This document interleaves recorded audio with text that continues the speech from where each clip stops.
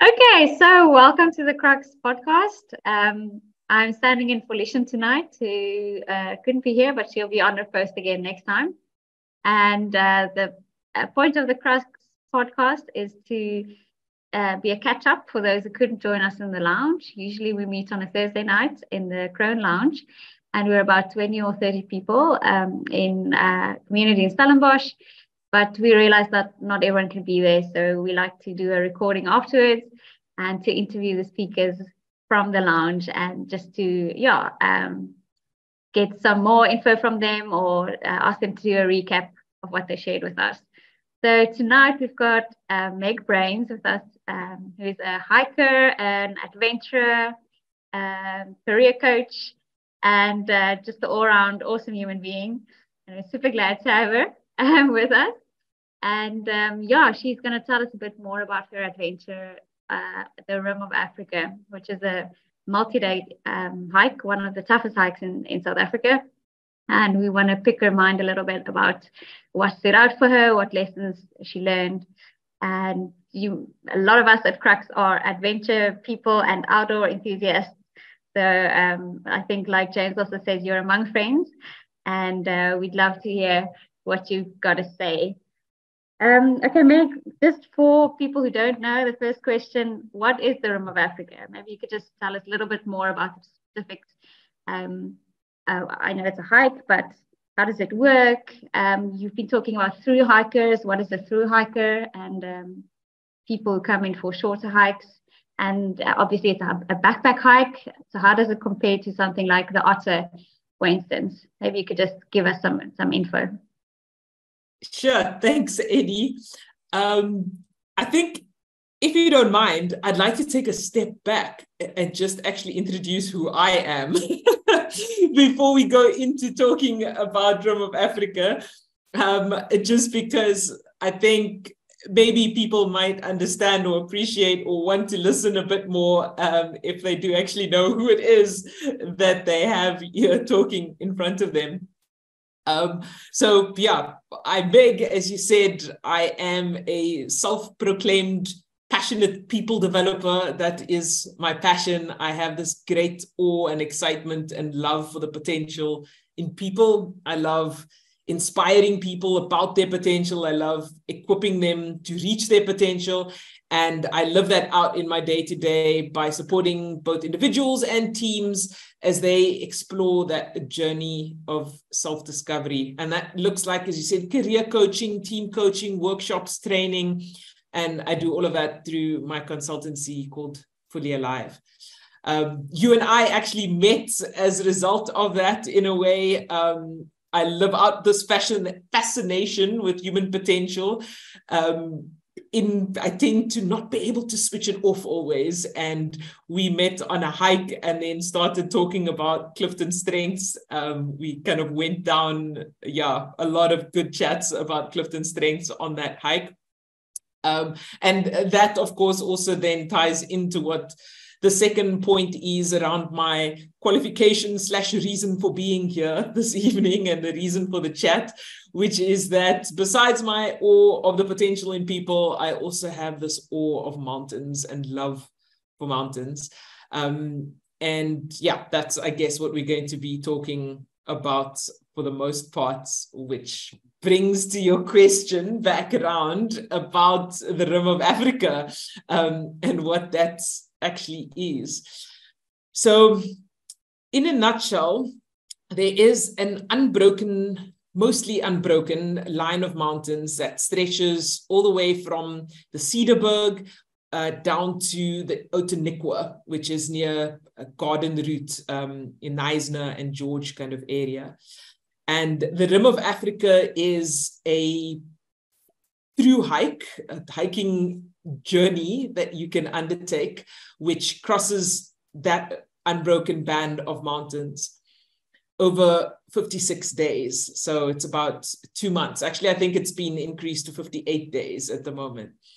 Um, the full route is broken into nine different sections. Most people come in to do only one or maybe two of those sections, but three of us back in 2019 completed the through hike. And that means doing all nine sections back to back. At that point, there was only there were only four people that had ever done it before, and myself and Nadine were the first lady through hikers to attempt or to finish it.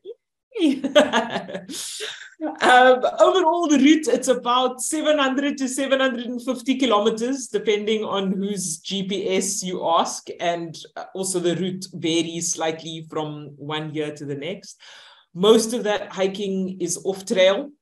So, in other words, if you are imagining, you know, the average hiking trail that someone may think of to go up Table Mountain, etc. It was largely not that.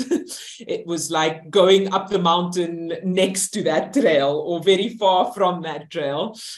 Uh, there were a lot of weird, strange moments where we did need to cross civilization and we walked along a train track or along a jeep track or something like that, but most of it was off trail.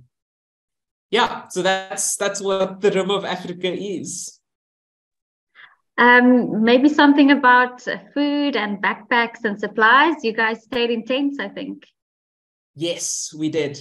So 90% um, of those 56 nights, I did sleep in my tiny little one man tent. Um, that was my little safe haven every night. Um, the other few nights were maybe the nights that I decided to sleep under the stars because it was good weather, or the one or two nights where we stayed maybe inside a hut or something like that where we got to sleep on a bed but that was definitely not didn't happen very often. And sometimes actually we were camping outside the hut because somebody else was using the hut at the time. Food wise um, and backpack wise so, as I mentioned, the overall route is broken up into nine different sections, and people are coming in and out all the time. And so, at the beginning and end of each of those different sections, we did have the opportunity to get food resupply. We had each needed to kind of plan out or have prepared in advance all of our food. Um, and we did also have the opportunity on most of the traverses for a midway food drop. So, in other words, we were fortunately only needing to carry about three or four days worth of food at the time on average. Sometimes that stretched to five or six days, but it was largely about three or four days. In terms of the, the route and just how it worked as well, it is a guided expedition. So the route is not something that someone can just decide to do themselves, unfortunately. It crosses a lot of private land for which the Rim of Africa Trust has obtained special permission to be able to cross. And we did then have at least two guides per section, depending on how many participants there were on the section. And that actually ranged from on one traverse, it was just the, us three through hikers and one other participant and the two guides, so six of us in total. On other sections, there were as many as I think 18 or so people. So it did vary quite a bit. Um, Meg, you you uh, showed us amazing pictures, beautiful pictures in in your slideshow, and um, quite sad that we don't uh, have that now. And I think it's quite hard for a listener to get the, the sense of what it was like living in the mountains for those two months um, the sunrises, the making of the food, the camping, the being outside in the wind and the rain. Um, such a visceral uh, body body experience. Anyway, so it's it's kind of hard to communicate that. Um, I know there was some kind of a video or full made of this. Maybe you can tell us about that. Yes, sure. So very unexpectedly huge, incredible, amazing privilege on Traverse number five, there was a professional videographer that came along as a participant.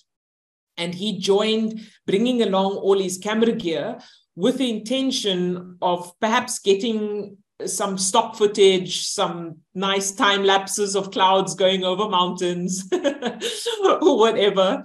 But early on in that traverse, that middle, it was the fifth traverse, so the middle one, uh, what ha- happened was that we actually lost one of our fellow through hikers. We started out four through hikers, and right on the fifth, first day of the fifth traverse, one of the, the fourth through hiker needed to pull out.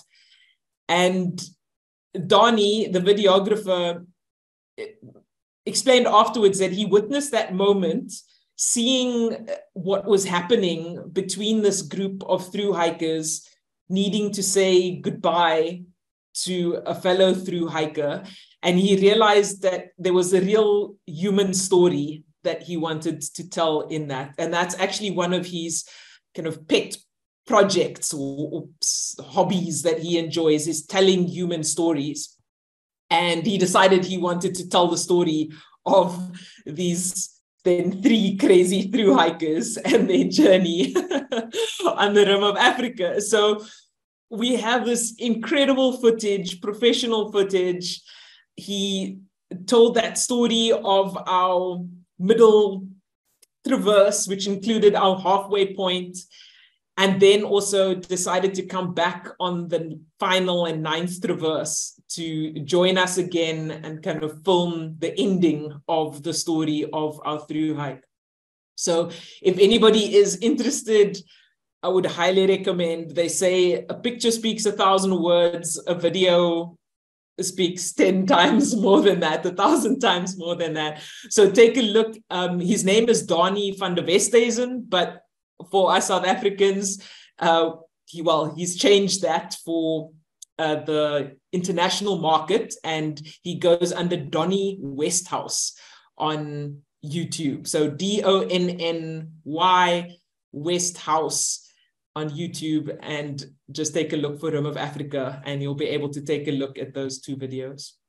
Um, Meg, I really want to get to the why of this, why um, this experience. But before that, let's just quickly talk about the how, as in how was it? Um, you endeavored to do this thing. Uh, what was it like? What was your experience? And I think especially what what surprised you about it? What was different than you expected? Mm. Yeah, so the days and the experience definitely ranged from one day to the next. I think overall, looking back, the sum total of it definitely incredible, amazing, life changing, once in a lifetime kind of experience but that didn't come all with days of smiling and happy days and puppies and rainbows. there were definitely lots of really difficult days, the days when your body just perhaps isn't cooperating. And that, of course, the tiredness and just general physical off days that come with any kind of physical activity, as well as days of actually being really sick. I had flu once a stomach bug another time. I got injured a few times as well, whether it was shin splints or a rolled ankle. And you just need to keep going actually through that, regardless of that. Keep going no matter what, no matter the rain, the weather, the cold. Sometimes on days that were really long where we needed to get to a certain point to reach a, a campsite. We needed to find water to be able to camp, etc., and also to be able to make the progress that was needed to still meet the deadlines of getting to the next crossover point. So it was difficult as well because to a large extent you're also you're tied to the group right you can't just decide to take a tea break whenever you want to take a tea break. you you're moving with a group, you're moving with deadlines according to that group as well. And so that was at, at times it could be it could be quite tough. The group, of course, was also a big part of what made it so fun. That you get to know people that you wouldn't necessarily have come across in other situations people from very different walks and stages of life and to live in different parts of the country or some in different parts of the world as well. And so getting to know those people. Uh, often you don't even know what their surnames are. Nine out, nine out of ten of those people, I don't didn't know what their surnames were. Never did. Probably never will. Don't know too much about them really. But there's also just this bond or connection that comes through that shared experience and that shared time with them. You do have some really deep conversations transcending very quickly transcending small talk and you get this shared bond or connection like no other. So that was a good part. And then of course i mean come on it was two months in the mountains right? So all of those challenges and difficulties etc described above like previously that was also exactly what made it fun as well. The very vast and varied terrain that we walked through um, when the days when maybe the sun did finally come out after you just had a few days of back-to-back rain and you were starting to wonder i had a, an instance where my tent was leaking due to a bit of a design flaw and wind and rain and velcro don't mix to keep you dry at night. They are not a good combination for being dry at night. So I had two nights of getting a fine mist of rain coming in through the air vents in my tent. And um, it was on the third morning when I was just getting to the point of thinking if I have another night of rain like that, I'm definitely have zero insulation for that night in my wet, wet sleeping bag and then the sun came out and it's just glorious. And i can still distinctly remember that moment of sitting down for a tea break feeling the warmth of the sun pulling out my sleeping bag and laying it out to get dry a bit and yeah those moments of being just being in nature sitting down with a group to make a cup of tea or to have lunch and you are surrounded on every side by mountains, by nature in a wild land that is largely, mostly unreached, untouched, because as I said, it's off trail. It's not like you can call up Cape Nature and get a permit to go and do this hike. So you're in these wild, untouched areas, and you know that your body took you there. You took every single step that got you into that spot. And those moments are just incredible. Mm. Yeah. I think you describe it so well. Um, I think those of us who are hikers as well, it's it's hard to describe if you um, if you don't have that love yourself, and it's hard to put into words. Um, but I think, like you said, hiking is its own reward. Um, there's no mm. prize at the end. There's no um, it's not a career move. It's not even a vacation because it's too hard. You know, it's too tough. Uh, you're actually signing up for voluntary suffering in the mountains. that thing is is its own reward, and I think that's why hiking and and mountaineering is so um, absolutely rewarding. Um, I think we've talked a lot about the idea of pilgrimages at at KRUX, and I wondered, like, did you see this as a pilgrimage or do you feel like there was a spiritual um, element to it? And also have you done similar kinds of things like this um, that you could describe as a pilgrimage? How was your experience in that regard? Hmm. Um, it's an interesting question. I don't think i necessarily approached rim of africa as a pilgrimage. Mm. i definitely didn't think of it in that way when when I started. I also realized the comparison of the different kind of life situations, life stages with my two fellow through hikers. The one was in her early mid 20s and kind of going through some transitions around career and what she wanted to do with her life. And the other was in his 50s, I think. um, and uh, I, he was, you know, he is this incredible serial entrepreneur who had just sold one of his companies and was doing the Rim of Africa as a bit of a, a detox of the rat race and wanting to kind of come back to himself um, and to to the little boy inside him again. And so I think in that sense, I can see how for them there was this kind of pilgrimage element to it. I was in my uh, mid 30s, early to mid 30s. I was uh, quite satisfied in my career, loving it. It wasn't, you know, I was in a very, just a very different life stage. And so I don't feel like there was necessary that sense of tension around trying to get away from something or rediscover something in my initial intention in going. To be honest, I just, there was this opportunity to spend two months in the mountains and I jumped at it. I thought it sounded like a really, really good idea, which it was. Um, but this whole idea of, of pilgrimage and of nature and of what it can do for you is something that was then developed in me partly as a result i think of my intense experience during the rim of africa so while i haven't yet done some kind of other pilgrimage or anything like this. It is definitely something that I do think about.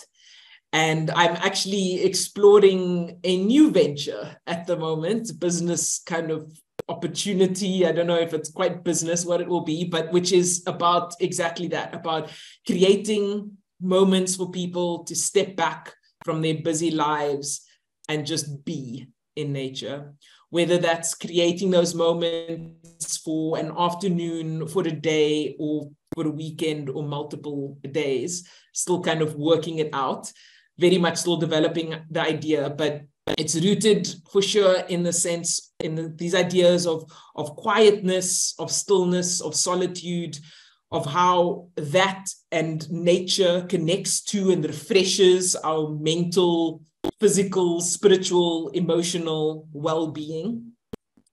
And also linking, it's one of those things where you know you got to explore this idea because within a short period of the initial idea coming to me and within about two weeks, uh, there were a number of key moments where I had conversations or listened to another podcast or a sermon or something that all just kind of pointed to this.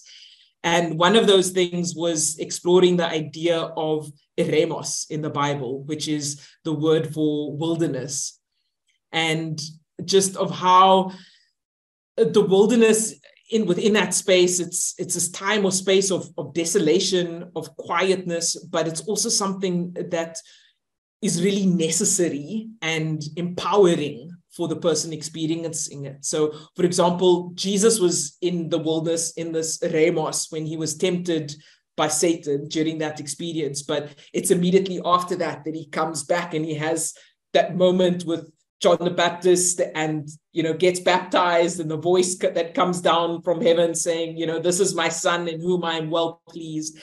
And that really then launches and kickstarts his his ministry period after that.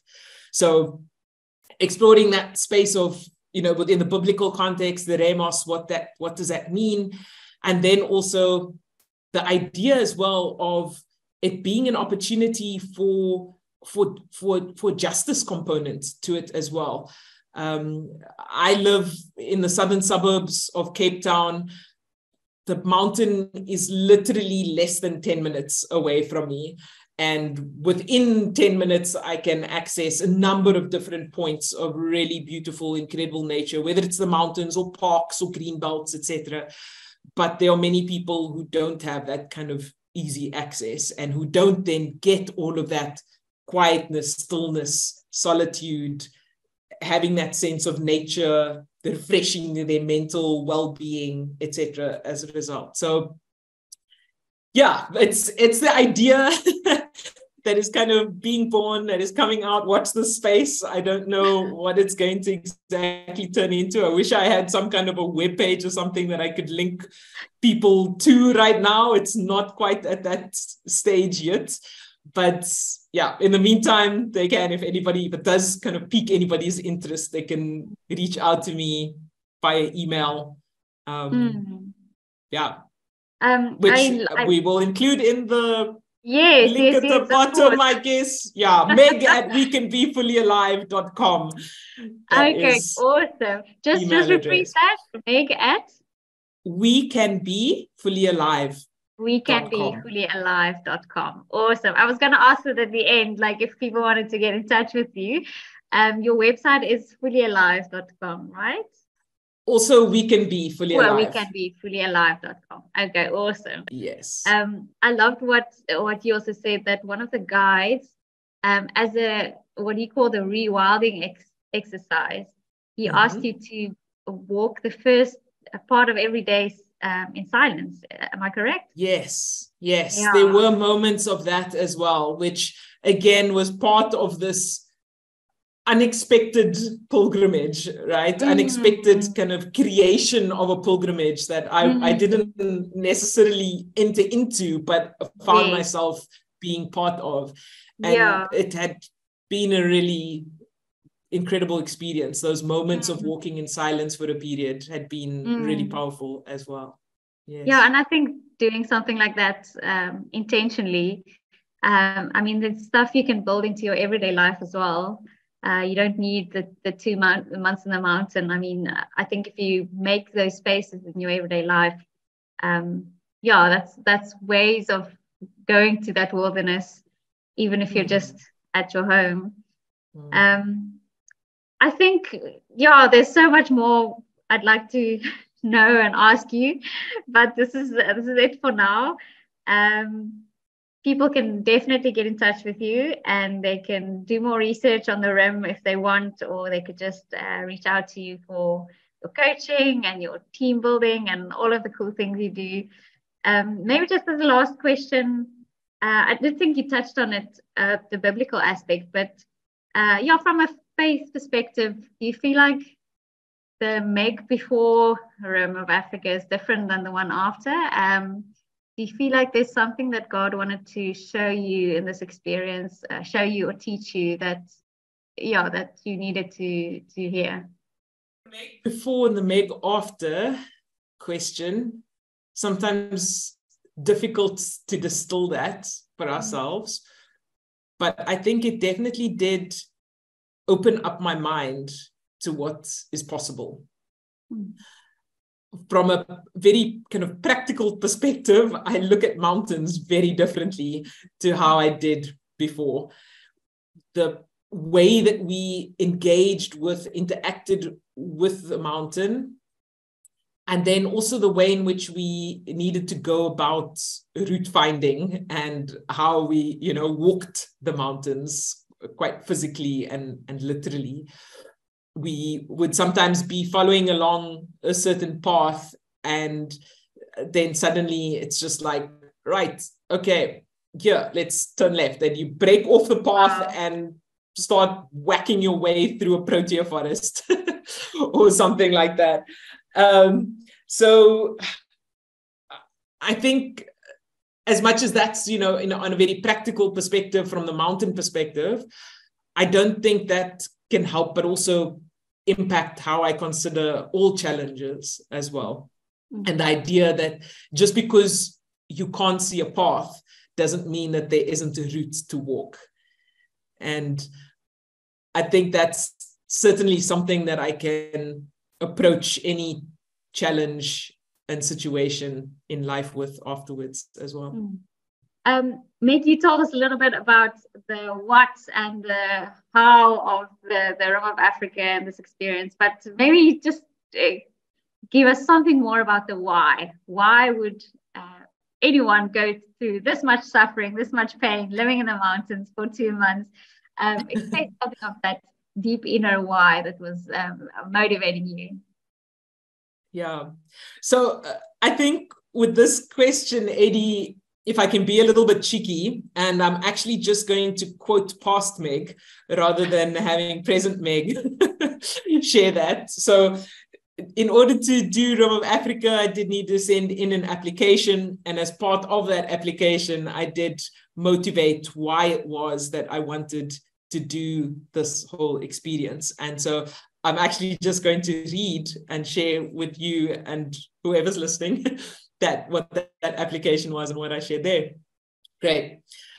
So I am a born and bred Capetonian. I feel like somehow the Western Cape Mountains were baked into my blood. From Table Mountain to those further afield, they rise up in the goosebumps I get whenever I look at them. Can be dangerous when I'm driving a mountain pass. So the Rim of Africa through hike has naturally danced around my dreams ever since I first heard about it.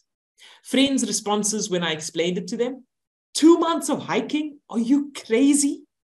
Yes, two months of hiking. Can you imagine anything more incredible than that? Two months of exploring, cherishing, reveling in the mountains that I carry in my blood. Two months of simply simplifying life down to one foot in front of another, one step at a time, with belongings reduced to what I can carry on my back and no frills meals representing fuel for the next day. These are the thoughts that might turn others away. But these are the incredible, mind blowing, life changing, what else could compare challenges that exhilarate me even just thinking of it. The challenge of 56 days of hiking, the sweet bliss of that much time in nature, mixed with pushing, whacking right out the park, my limits, both mentally and physically. I love the feeling of being somewhere so far from civilization and knowing that I'd reached that point by marshaling the strength of my own body. I remember past hiking moments where all I could do was promise myself to just keep taking one step at a time as I made my slow way onward. I've had hiking experiences where the elements have bested us, lack of water or unstable fire swept terrain forcing us to abort for safety. Experiences like those serve only to confirm my awe of the mountains. We sometimes think we can just conquer, but we need to approach these enduring giants with respect. So these moments of defeat, as much as the triumphant moments of trails successfully completed, fuel this hunger in me to explore, adventure, stretch my capacity, and hike more mountains. So it might sound crazy, or perhaps you understand, but I'm looking forward to the tough moments as much as the beautiful views and rock pool swims. The thought that this is going to be the biggest physical and mental challenge I've ever taken on is thrilling to me.